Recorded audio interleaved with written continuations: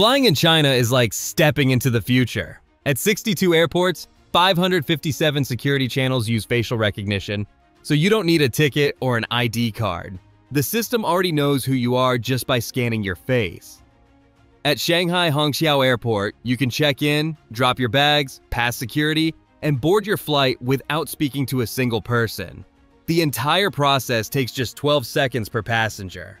Beijing's largest airport has over 600 biometric checkpoints, 250 automatic gates, and 80 self-service stations, all powered by facial recognition. Everything happens automatically. You just walk through and the cameras do the rest. But it's not just at airports. Across China, cameras are everywhere, watching, analyzing, and recognizing faces in real time. China has installed more than 200 million surveillance cameras. That's four times more than the entire United States.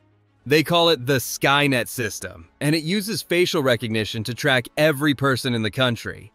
The technology is so advanced it can catch jaywalkers, identify anyone not wearing a mask, and even predict crimes before they happen.